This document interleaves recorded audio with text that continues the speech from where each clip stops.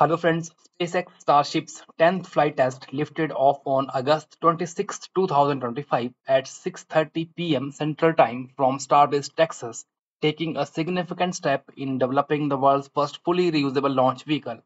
Every major objective was met, providing critical data to inform design of the next generation ship and Super Heavy. The flight test began with Super Heavy successfully lifting off by igniting all 33 Raptor engines and ascending over the Gulf of America.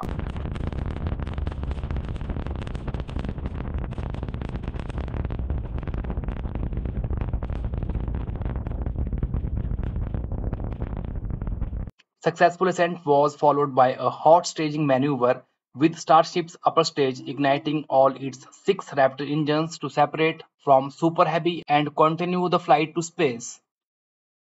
Following stage separation, the Super Heavy booster completed its boost back burn to put it on a course to pre-planned splashdown zone.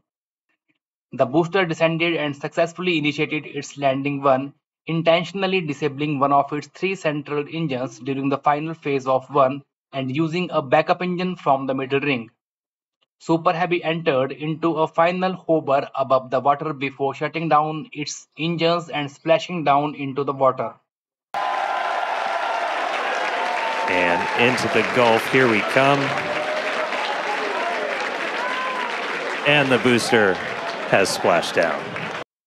Starship completed a full duration ascent burn and achieved its planned velocity, successfully putting it on a suborbital trajectory. The first in-space objective was then completed, with eight Starlink simulators deployed in the first successful payload demonstration from Starship.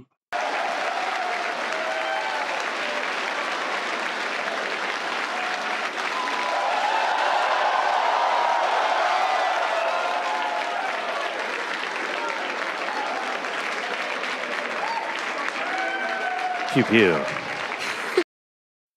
The vehicle then completed the second ever in-space relight of Raptor engine, demonstrating a key capability for future deorbit burns. Moving into the critical re-entry phase, Starship was able to gather data on the performance of its heat shield and structure as it was intentionally stressed to push the envelope on vehicle capabilities. About three minutes. So as we get a little bit further into this reentry, that inky black below you is going to start to look like clouds and hopefully a bright blue ocean as we make our way down onto the other side of the planet.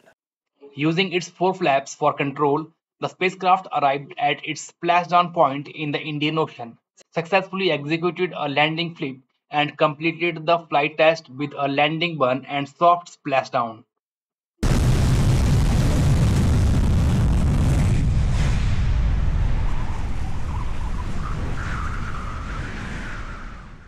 Over the course of a flight test campaign, success will continue to be measured by what we are able to learn, and Starship's 10th flight test provided valuable data by stressing the limits of vehicle capabilities and provided maximum excitement along the way.